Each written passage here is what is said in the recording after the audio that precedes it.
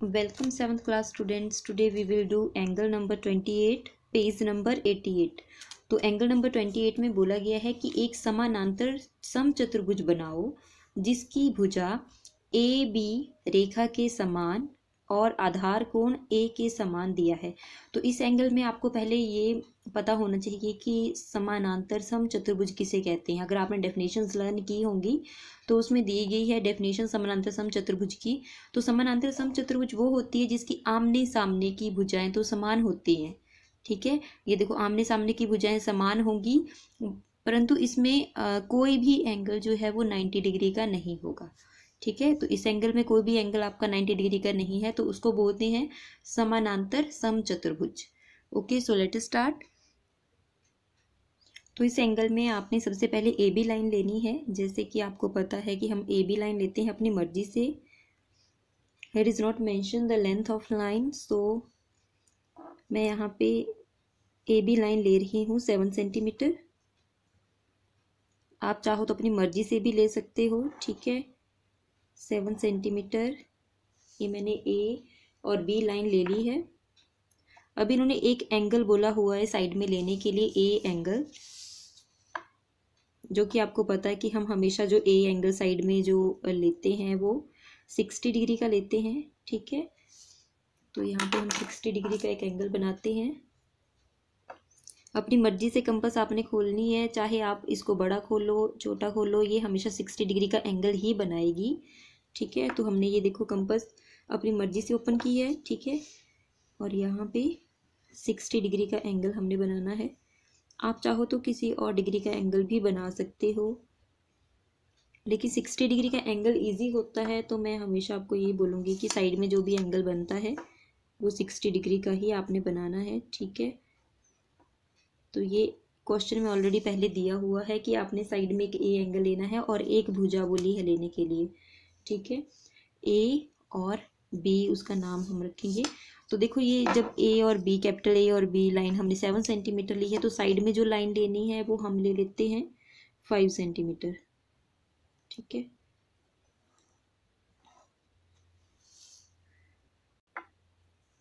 तो ये साइड में है स्मॉल ए और बी लाइन ठीक है, जो हमने ली है फाइव सेंटीमीटर आप अपनी मर्ज़ी से भी ले सकते हो, ठीक है? तो आपने अब क्या करना है कि ए एंगल जो साइड में दिया हुआ है ए एंगल को आपने ए पॉइंट के ऊपर बनाना है, ठीक है? सेम उतनी ही कंपस आपने ओपन करनी है। इतनी ही कंपस ओपन करके ए पॉइंट के ऊपर कंपस रखेंगे और यहाँ पे सिक्सटी डिग्री का एंगल ड्रॉ करेंगे।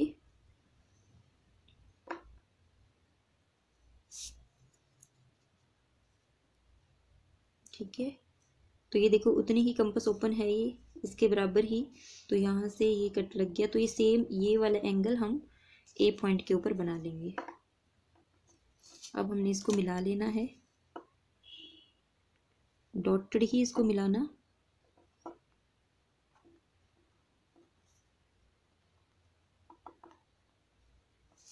ठीक है? तो अब आपने क्या करना है कि ए और बी लाइन जो साइड में ली हुई है, इसके बराबर आपने कंपस ओपन करनी है। ए और बी लाइन के बराबर ओके और ए पॉइंट के ऊपर रखनी है कंपस और ऐसे ऊपर की तरफ़ को एक कट लगाना है, ठीक है? तो ये आ जाएगा आपका सी पॉइंट ठीक है? अब इसको थोड़ा सा हम डार्क कर देते हैं यहाँ से, क्योंकि ये हमारी आंसर लाइन आ रही है, ठीक है? तो ये आ गया आपका सी पॉइंट अब आपने क्या करना है? पहले आपने ए बी लाइन के बराबर कंपास ओपन करके ए पॉइंट से ऊपर की तरफ़ को काटा तो ये आ गया आपका सी पॉइंट अब आपने ए और बी लाइन जो कैपिटल ए और बी लाइन है, इसके बराबर आपने कंपास ओपन करनी है, जो कि सेवन सेंटीमीटर है। ठीक है, इतनी कंपास ओपन करनी है आपने और सी पॉइंट के ऊपर रख के ऐसे आगे की तरफ़ को एक आग लगाएँगे। ठीक है, ओके। ए, बी के बराबर कंपस ओपन करके सी पॉइंट के ऊपर रख के, आगे की तरफ़ को एक आग लगानी है आपने।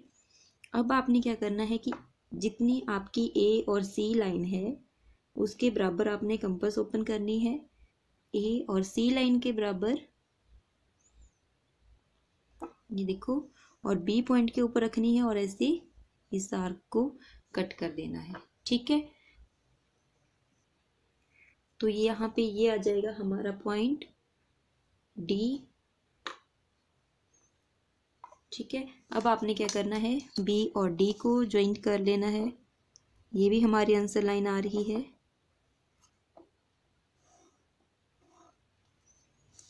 ठीक है? अब आपने सी और डी को ज्वाइंट कर लेना है। ठीक है?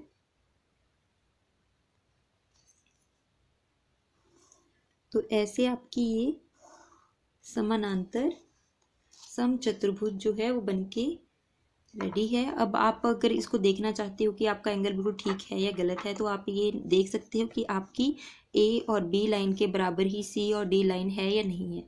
अगर ए बी के बराबर सी डी लाइन है, ठीक है तो इट मीन्स आपका एंगल बिल्कुल ठीक है।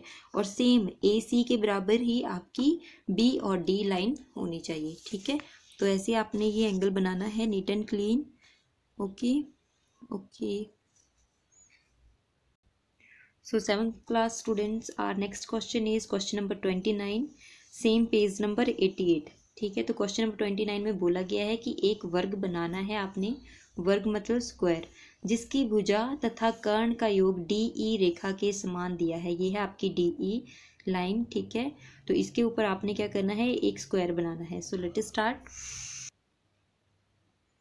पहले आपने ए और डी सॉरी डी और ई e लाइन जैसे कि क्वेश्चन में बोला गया है सेम वैसे ही आपने एक लाइन लेनी है डी और ई e, तो मैं यहाँ पे ले रही हूँ टेन सेंटीमीटर आप अपनी मर्ज़ी से भी ले सकते हो ठीक है? तो ये है ten centimetre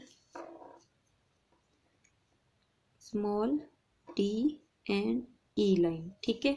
अब सेम इसके ही बराबर आपने एक और लाइन लेनी है। टेन सेंटीमीटर ही। डी और ई e लाइन। और ये लाइन आपने जो है वो डॉटर लेनी है। जो कैपिटल डी और ई e लाइन आप लोगे तो ये आपने डॉटर लेनी है।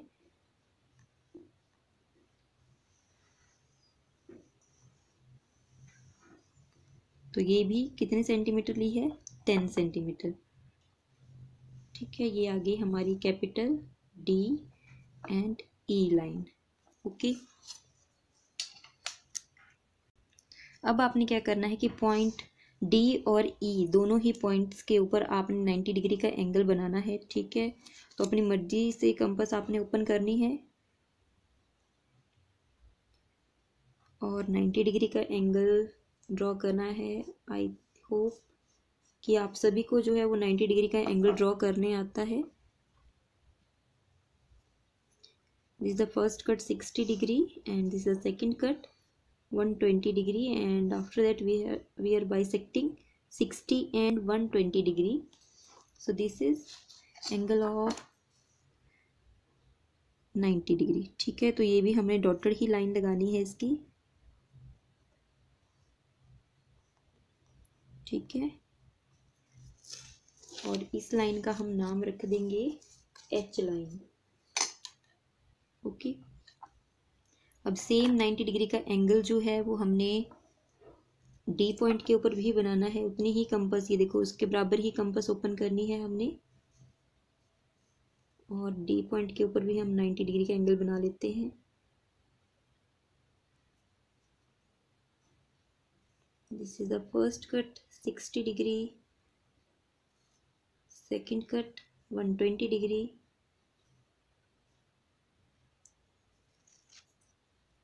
And bisecting sixty and 120 degree okay so this the angle of 90 degree again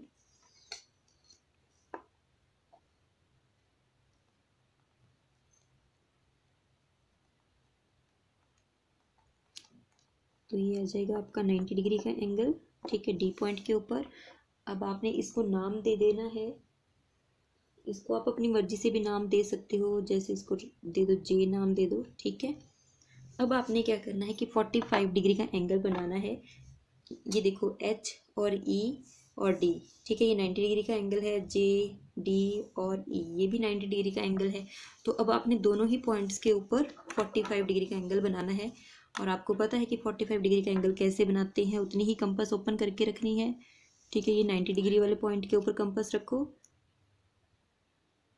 और ऐसे आर्क लगाओ।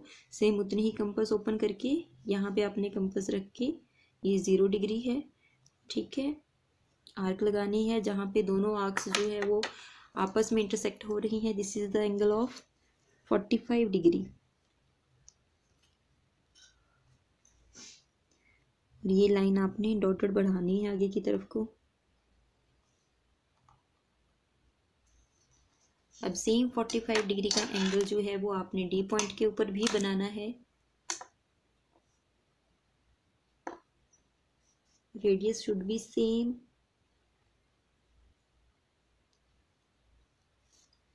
so, this is the angle of 45 degree again.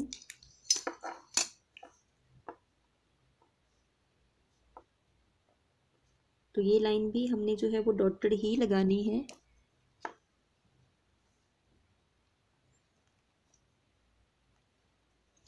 अब आपने क्या करना है? ये देखो, दोनों पॉइंट्स के ऊपर जो है वो फोर्टी फाइव डिग्री के एंगल बन गए, ठीक है? अब आपने डी पॉइंट के ऊपर twenty two and half degree का एंगल बनाना है। आई थिंक आप सभी को twenty two and half degree का एंगल बनाने आता है। तो इसके लिए आपने क्या करना है? ज़ीरो डिग्री और फोर्टी फाइव डिग्री का हाफ़ करना है। तो ये है, ये वाला पॉइंट है आपका ज़ीरो डिग्री ठीक है? ये वाला पॉइंट है आपका ज़ीरो डिग्री तो कंपास उतनी ही ओपन करके इस आर्क को हम आगे की तरफ़ को बढ़ा लेंगे, ठीक है? और सेकंड आपने रखनी है कंपास फोर्टी फाइव डिग्री के ऊपर, ठीक है? और ऐसे ही ये आपने दूसरी आग लगानी है और यहाँ पे दो आर्क्स जो हैं वो आपस में इंटरसेक्ट हो रही हैं, ठीक है? So this is the angle of twenty two and half degree okay तो आपने इसको भी डॉटेड ही मिलाना है। और ऐसे आगे की तरफ़ को बढ़ा लेना है, जो इस 45 डिग्री के एंगल को, जो कि आपकी ई पॉइंट के ऊपर बना है। आप चाहो तो यहाँ पे लिख भी सकते हो 45 डिग्री ठीक है? और यहाँ पे आप लिख सकते हो 22 एंड यहाँ पे 22 एंड हाफ़ डिग्री, ठीक है? तो ये देखो, ये 45 डिग्री वाली लाइन ऊपर की तरफ़ को जा रही है और ये है 22 एंड हाफ़ डिग्री की लाइन ऊपर की तरफ़ को जा रही है। तो जहाँ पे ये दोनों लाइंस आपस में कट हो रही हैं this is angle of this is C point ठीक है? ये आ गया आपका सी पॉइंट अब आपने क्या करना है? सी और डी पॉइंट का बाइसेक्ट करना है, ठीक है? आपको पता है बाइसेक्ट कैसे करते हैं? आपको बाइसेक्ट करने का फॉर्मूला पता है? तो डी और सी लाइन का जब हम बाइसेक्ट करेंगे तो हमने कंपस ओपन करनी है किसके बराबर? हाफ़ से थोड़ी सी ज़्यादा कंपस हमने ओपन करनी है। ये देखो, यहाँ जैसे इसका मिड पॉइंट हाफ़ होगा तो हमने हाफ़ से थोड़ी सी ज़्यादा कंपस ओपन की है। और ऐसे हम एक आँख लगाएँगे। ठीक है सेम उतनी ही कंपस ओपन करके आपने डी पॉइंट के ऊपर रखनी है। ठीक है? और दूसरी आग लगानी है। तो यहाँ पे हमारे पास टू पॉइंट्स आ जाएँगे। ये देखो, दो जगह पे इंटरसेक्ट हो रही हैं ये। ठीक है तो ये दो पॉइंट आ गए हमारे पास तो इनको हम ज्वाइंट कर लेते हैं। डॉटेड ही ज्वाइंट करना है इनको भी।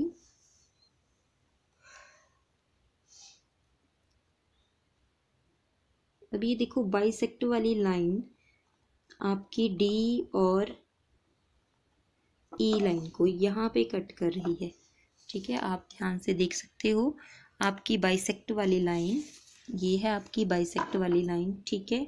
आपके डी और ई e पॉइंट को यहाँ पे कट कर रही है। This is your E point ये सॉरी ए पॉइंट ये आ जाएगा आपका ए पॉइंट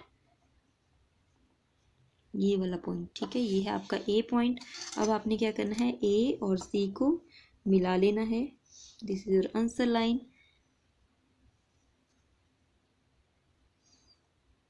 A और सी को आपने डार्क मिलाना है, ठीक है? और सी और ई e को भी आपने डार्क मिला देना है, ठीक है?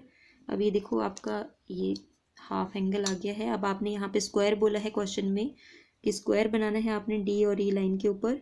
तो अब आपने क्या करना है? ई e और सी लाइन के बराबर कंपस ओपन करो, ठीक है? ई e पॉइंट के ऊपर रख के नीचे की तरफ़ को आपने आर्क लगानी है ऐसे, ठीक है?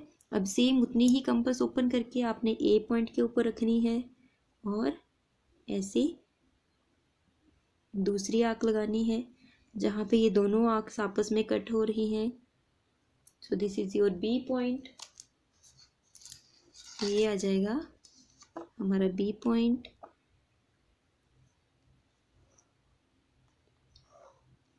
हम नाम दे देते हैं इसको बी ओके अब हम बी और ई e पॉइंट को भी मिला लेते हैं. तो ऐसे हमारा जो है वो एक स्क्वायर वर्ग जो है वो बन जाएगा. इन सभी लाइन को आपने थोड़ा डार्क लगाना है, ठीक है? दीज आर आंसर लाइंस ठीक है? तो ऐसे आपका ये एंगल जो है वो बन जाएगा। आपने सभी लाइन को थोड़ा सा डार्क कर देना है, ठीक है? और ऐसे ही आपने नीट एंड क्लीन वर्क करना है, ठीक है? आप देख सकते हो। ओके ऐसे आपने ये एंगल बनाना है तो ये है आपका angle number twenty nine page number eighty eight okay thank you students